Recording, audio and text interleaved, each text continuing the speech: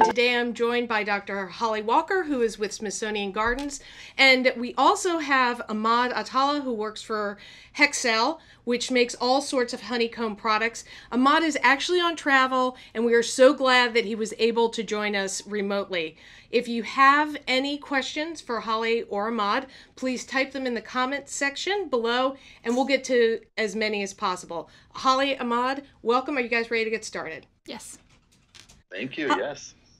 Holly, let's start with you. Uh, first, uh, start by telling us what is a honeybee hive and what's going on in there.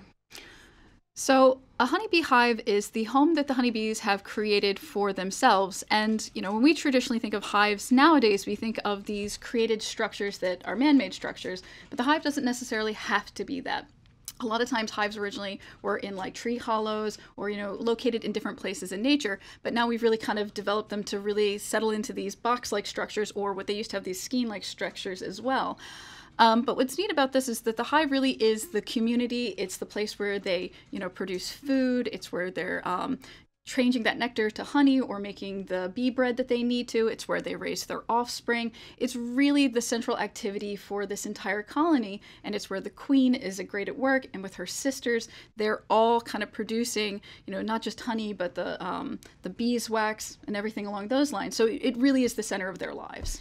And it has a very specific shape, which is a honeycomb structure. Uh, can you tell us what is interesting about this structure? So, the great thing about the honeycomb structure is this fact that bees have really figured out how to use producing that they're secreting from glands underneath themselves and they're uh, chewing this wax into a shape and then they're able to mold it. Now the thing is they need to have a shape that's both lightweight but really strong and uses the least amount of material because again this is something that they're producing and they can only produce so much of it and it takes a lot of individuals. So this wonderful honeycomb shape is really that kind of perfect fusion of you know it's durable it uses We have a Facebook question. Um, Chelsea would like to know what is a honeybee hive made of? So, for the most part, the hive itself is actually made of the beeswax. So, that's what those individual combs are made out of. Um, but the other part of this is bees kind of create their own glue, which is called. Um, I always mispronounce it. It's like glycopolis. It's a type of glue that they actually make again through chewing up, you know, different materials, and it hardens. And it's amazingly tough. Uh, any beekeeper will tell you if you've tried to take frames apart and they were too close to each other, they will solidify and harden so much that you almost can't. Um, get it off. You actually literally have to take like a crowbar and pry it off or that kind of thing. I actually have this uh, queen uh, it's like a queen divider so that when you're replacing queen and if you look here on the side of it that dark residue that's actually i don't know yeah if you can see it there um, that dark residue is that um, that a while this stuff just doesn't really degrade. So it's actually a really strong material. And so they're putting all these different things into the hive to make it very sound very structured but also to kind of keep it warm and keep it away from predators.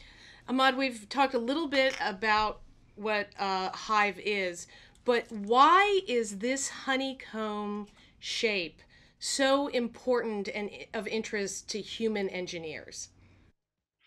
Yeah, I, Holly had the answer. I, when you think about a structure that you're trying to use, especially for airplanes, um, if you take a step back, what you're trying to do is you're anything that you're putting on the airplane, you're trying to lift off the ground, and anything that you're lifting off the ground requires power, spending fuel, and that's expensive. So what you're trying to do is you're trying to create a structure where you're using the least amount of material, which is weight, and produce the uh, the mechanical properties to to be a structural component. And you know the bees have it right. They it, it's a really good shape in that manner, in that use, and that's why the aerospace industry has has been using it for the last 70 years.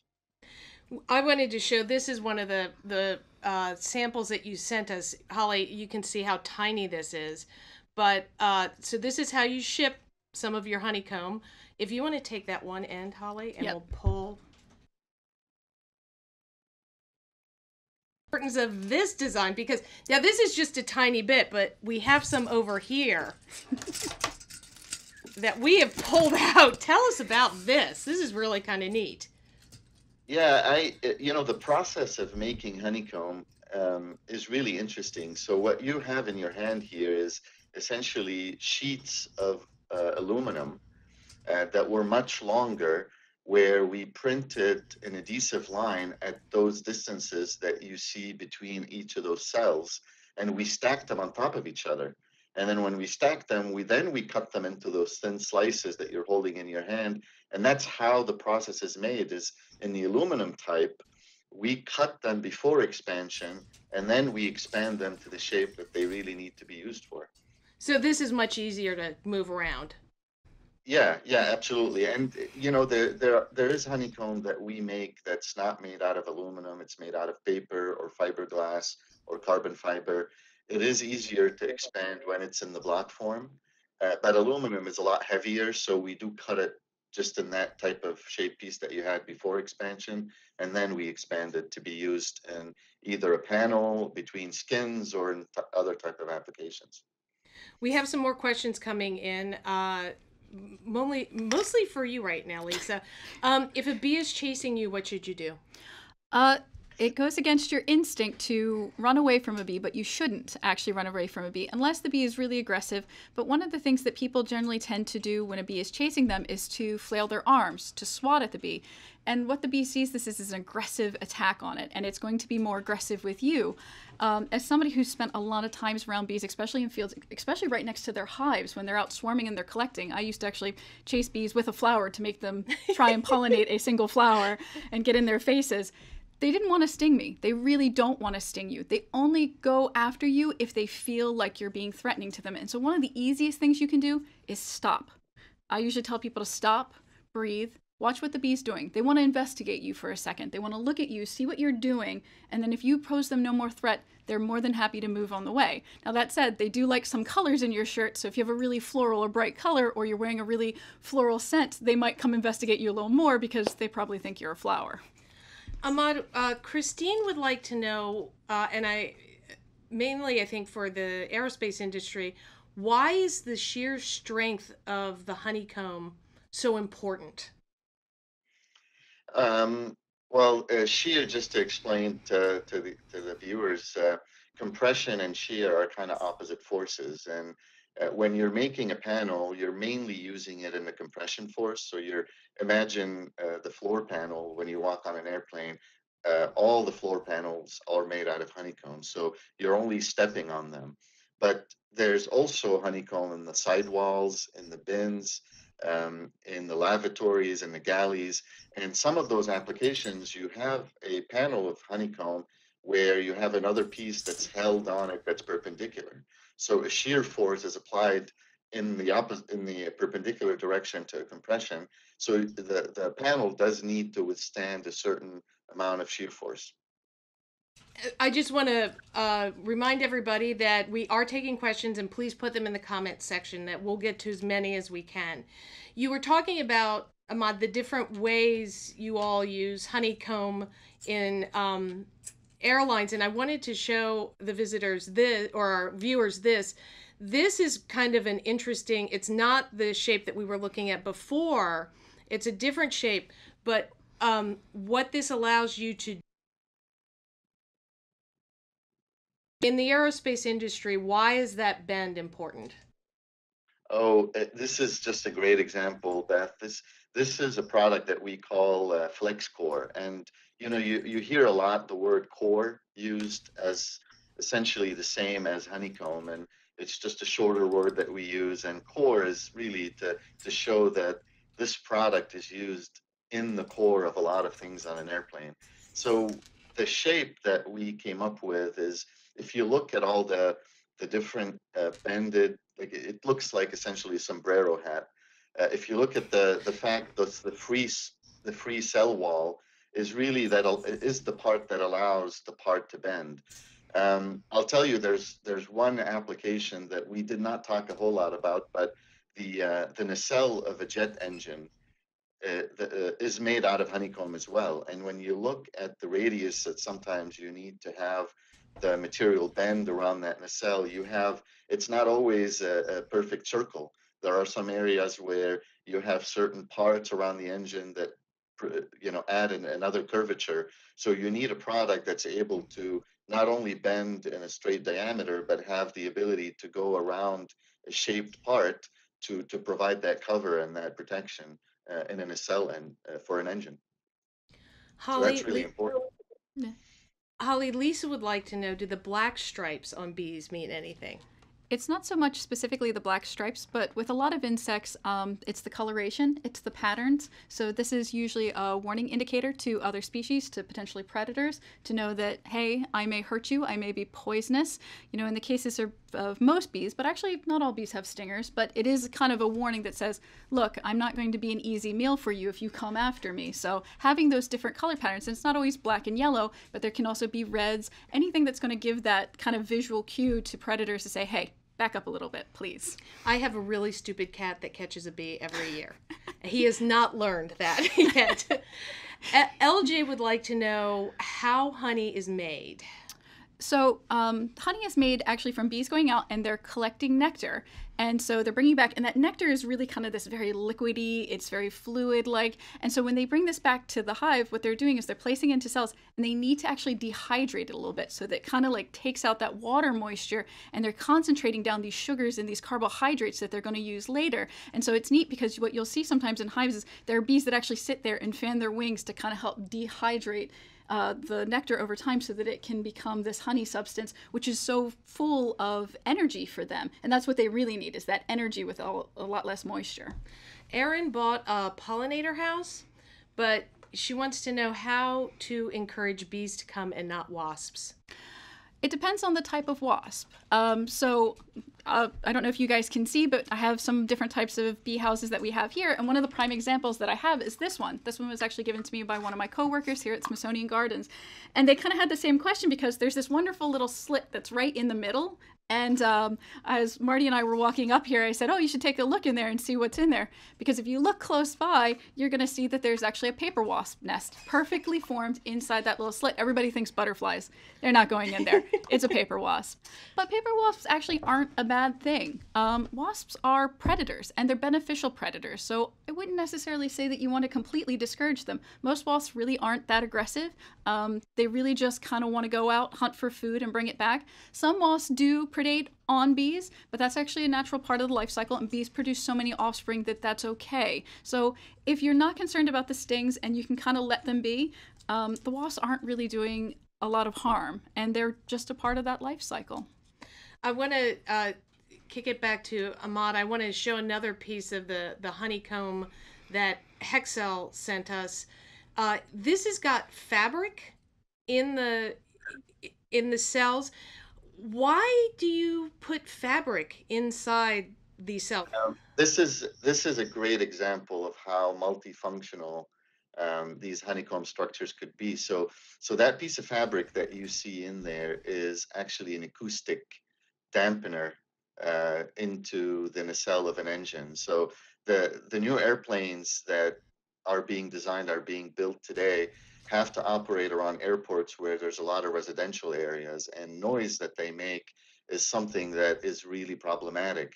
So what we have developed, we've developed a solution where we put that type of mesh inside the honeycomb and that goes in that structure around the engine and it eliminates a significant part of the noise that the engine generates that allows those airplanes to be less of an annoyance on the on the homes that are around airports and be able to give the airlines more time of operation in a day so they can take off and land earlier in the morning when you know some people are still sleeping or be able to land late at night. Those times of operations expand when we have that type of functionality um, used inside the honeycomb. So not only that they're good and structural but they give you that advantage of adding functionality inside of it. It's it's pretty amazing Okay, um Holly, Landon would like to know when you go to collect the honey, what do you do uh, so that the bees won't sting you?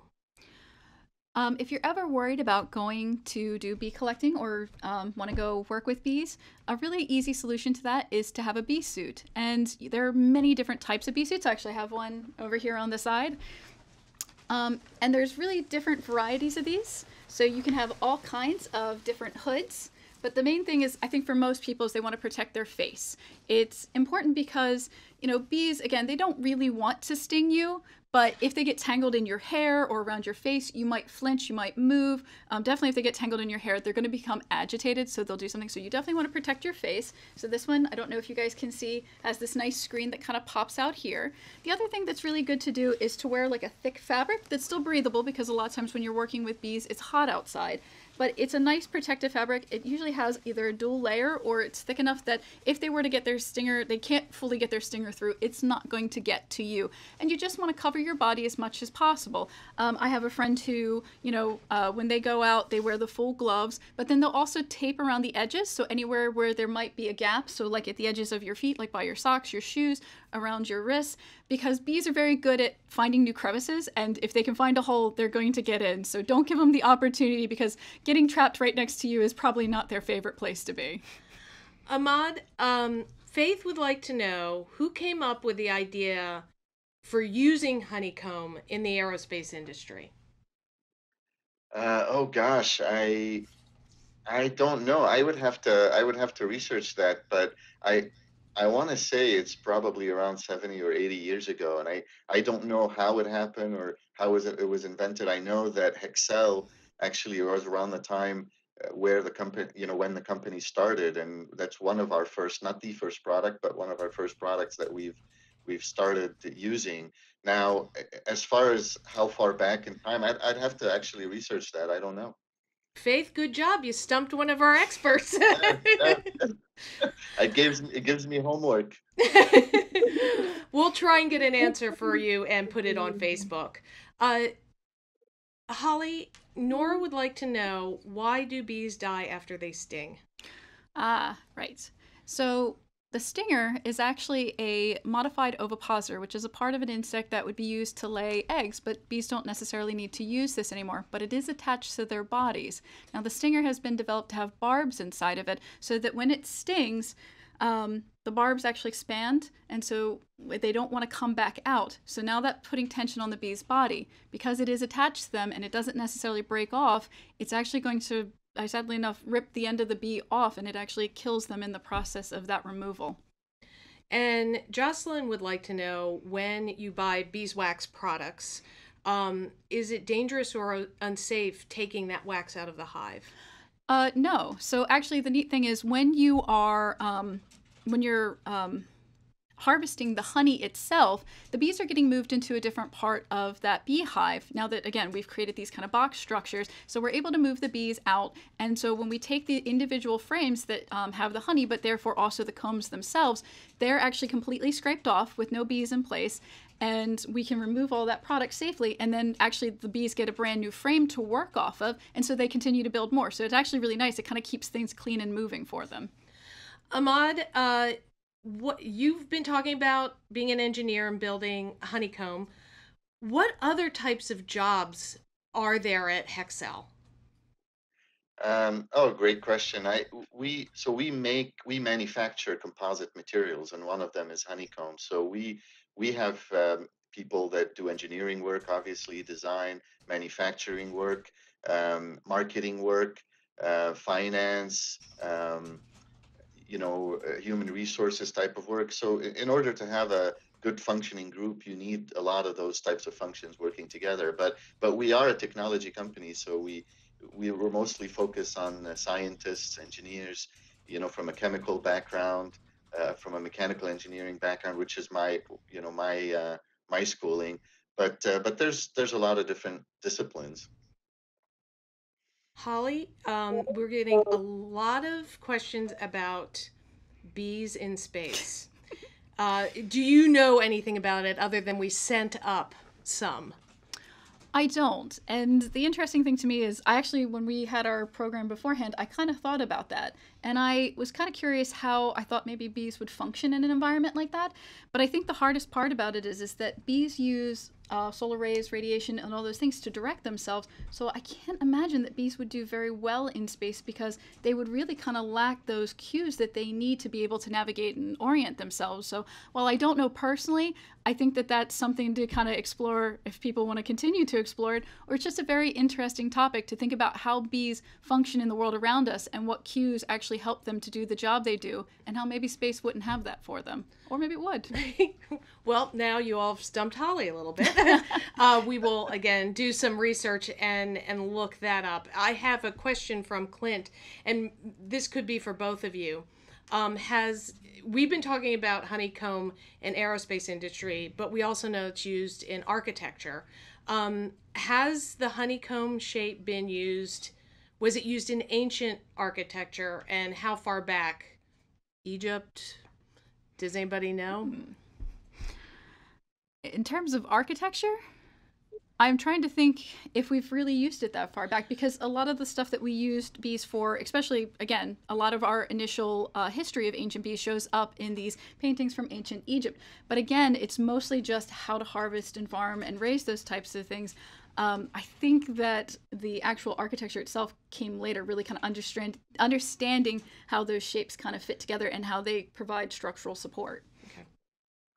Ahmad, do you have yeah, any idea? Yeah, I uh, I don't know how far back it, it has been used. I know it, it is used in buildings, in construction, and sometimes in in some structures on the ground. And and I think it, it, it goes back. It's it's not the best product to use. It tends to be a little bit more expensive because you're you're not really you don't really need to have that lightweight. But in tall buildings, I know in some of the structures it's used.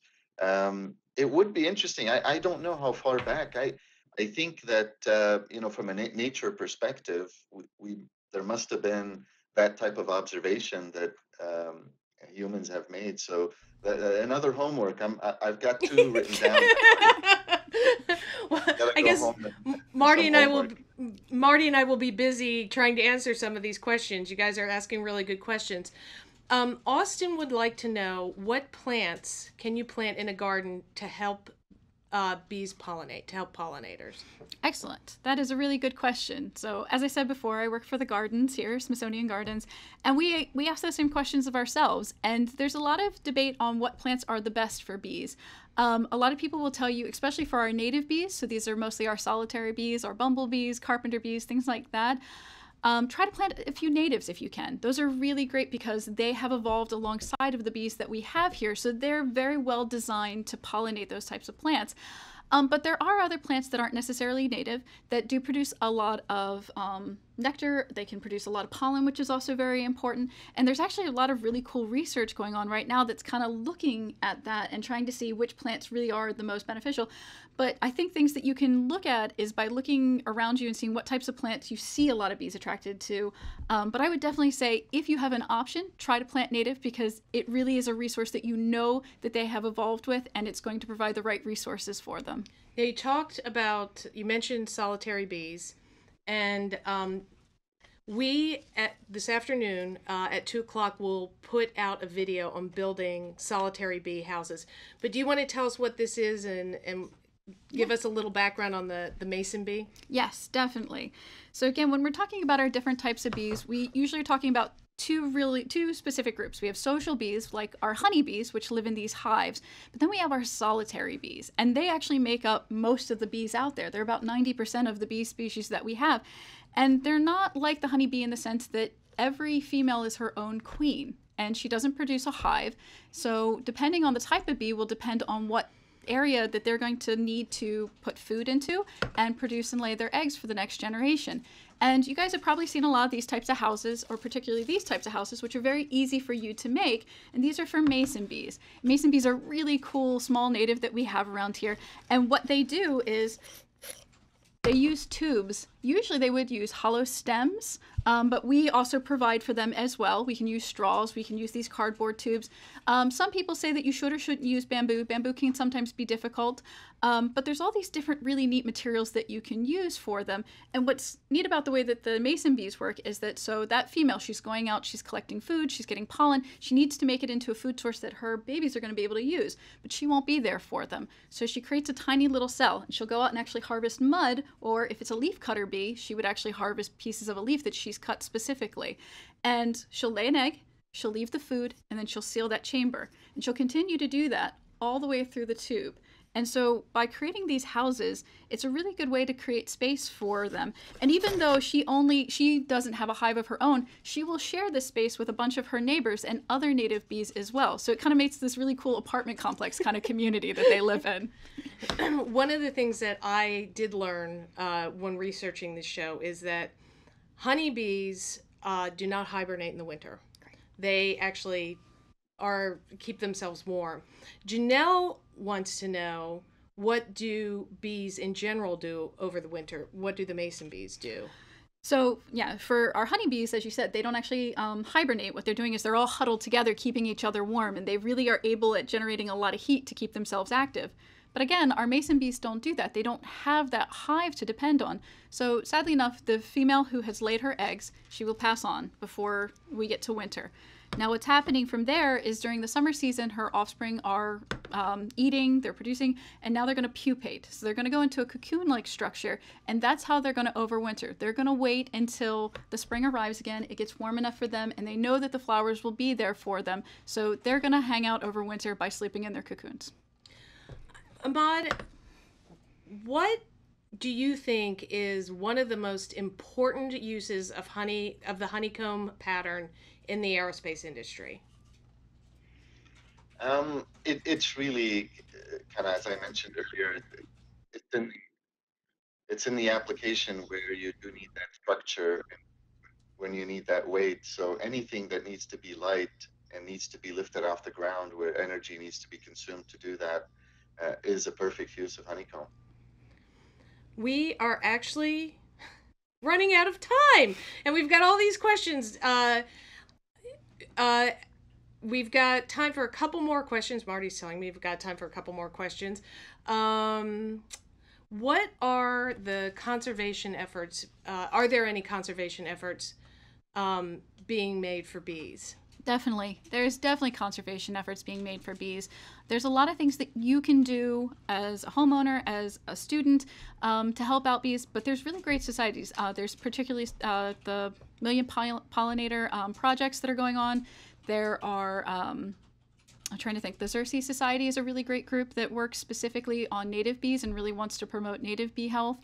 But again, I think if you get at the community level, you'll find that there are a lot of organizations locally, either through park services, through beekeeping organizations, who really care about what's happening. Even farmers and agriculture and horticulture all want these pollinators to be around because they provide so much service for us. So if you look in your local area and just look up bee conservation, you'll see. But the biggest thing is creating spaces for them, even in urban environments. Bees actually are really good sometimes in urban environments. So there's things that you can do even around your home. Even if you live in an apartment like I do, I plant my balcony with all kinds of plants, some native, some just flowering.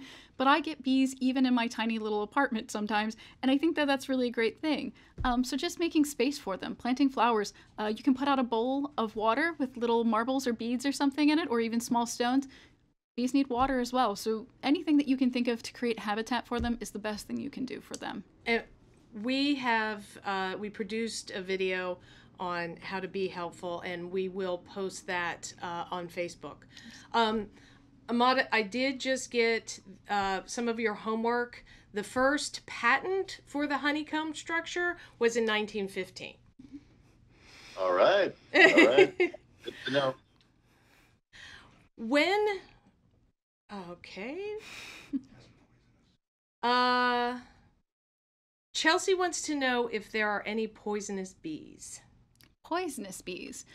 No, not in that sense. So when you get stung, they do have a venom sac. So you are reacting to a venom that is being pushed into underneath your skin. And so that's the thing. When you get stung, a lot of people say um, not to rub it. What you actually need to do is either take the edge of your fingernail or the edge of a card or something and gently scrape it away because you don't want to accidentally uh, continue to push that venom sac because that'll, of course, cause you to have more of a reaction. But in terms of being poisonous, not so much. Again, some people have to be careful because they can have an allergic reaction to it. So if you ever get stung and start to feel a little bit swollen, a little bit dizzy, please make sure you go seek medical help. It's very important, you know, that you stay safe when you're around bees. Here's one I think might stump you, skunk you, stump you. Uh, Katie wants to know what was the largest bee ever found? I forget what the common name of it is, but there is a really fantastic large bee. So there, there's these two different bees. There's one that's literally can fit uh, right next to the head on a dime. And then the other one, I believe, is a type of carpenter bee. And and I don't remember the name off the top of my head, but it's a fantastic bee. It's like this big. And I don't think you'd be very thrilled if you saw a bee that big. But then again, most of these bees are docile. Now, I will say this with carpenter bees, particularly male carpenter bees, they want to be more intimidating than they are because they have no stinger. And that's the secret. The male bees have no stingers, so they have to make you be afraid of them.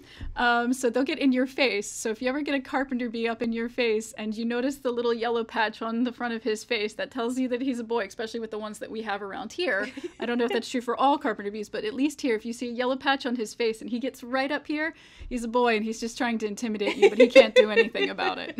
I just got word that it's Wallace's giant bee. There you go.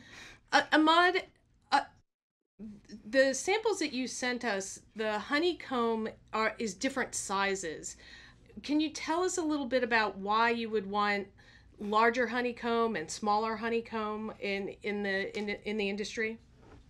Yes, the uh, really when you think about those types of uh, small size honeycombs, it's about density. So applications where you need um, the panel to be stronger so you have those cells to be a lot smaller, you have more material there. Uh, if it doesn't need to be as strong, you can have those cells to be a little bit larger. So it's really around what you need to design into your system. It needs more mechanical properties or less. Exactly. So the, the piece that you have in, in your left hand is a piece that probably is going to be in, a, in an application where uh, you need the material to be a lot stronger versus the one that you have in your right hand. And when you go onto an airplane, you don't see the, the honeycomb pattern. Why? um, you know, it's uh, it's what you see is the thin skin material. So there's uh, there's there's skin that's on obviously on the floor and on the side walls or in the bins, and it's really a, a, it's part of the structure as well. The skin does add to the shear of the properties, but it's really to protect it from the elements. It, you know, that no dust, no water runs through it, and it doesn't. You know, you don't want that to be in those types of structures. Some of them, you don't want moisture because it does degrade some of the uh, you know some of their properties. So you're absolutely right. It's it's in a cocoon of honeycomb, but you don't see any of it because it's protected uh, by by that skin. And the skin is made out. Of, it's also a composite material. It's it could be uh, glass uh, fiber or it could be carbon fiber skin, and it's usually you know uh, two three millimeters thick, very thin. We have a couple more questions. Kim would like to know what is royal jelly made of. So, try and make sure that I get this right. Um, royal jelly is a little bit different in the sense that, unlike the other um, nectar that they're the the materials that they're feeding those original bees um actually you know what? I don't know off the top of my head. We will we will get that answer. Yeah definitely. I, more but, homework but, for holly. That's right more homework for me. But it is an interesting thing because it really does determine who's going to be the queen and all bees get a little bit of it when they're first born but then to the only the queen will be the one who will actually continue to feed onto it. So everybody gets a little taste in the beginning, but only the queen. Queen gets yeah. a, a lot. Um, when bees lay their eggs, how long does it take for them to hatch? Ah, so this is neat. It actually depends on the bee. Um, it can take a few days. So uh, most people know that the um, the, for honeybees, I won't say most people, but it, it's commonly known sometimes that um, with honeybees, the worker bee takes about 21 days from egg to hatch. Queens or not from hatch, from um, being an egg to an adult. Now, right, because as an adult, they will live for another potentially four to six weeks, depending on the species of bee. Um, with queens, it's actually only from, uh, it's only up to 16 days. And I believe with males, it's longer. So it really kind of depends on the individual, but it's only a matter of a few days. And so it just depends on the individual. And how long does the average bee travel? Oh, how far? I'm sorry again, this is dependent on the bee because some bees are very good at staying home. Um, honeybees in particular can travel very long distances because they need to be able to go out and scour a lot of different resources. Obviously, if it's only within a few miles close to them, it's really easy, good food sources. That's what you want to provide for them. But if bees need to, they can go quite a few miles to go out there and try and find the food sources they need. Well, we are out of time now. Uh, I want to thank you both for being here today and answering all of our questions. Uh, and I hope that uh, we have inspired those of you who are watching to look into the different jobs that you can do in either the aerospace industry uh, or here at SI Gardens. Um, you guys had some great questions. Uh, we're going to look a couple of them up and we'll try and get all the answers. And also, if you enjoyed this show, please be sure to check out our next one that will come out next month and it will be on spy planes. Thank you. Thanks for Have a watching. good day, guys. Thank you. Thank you.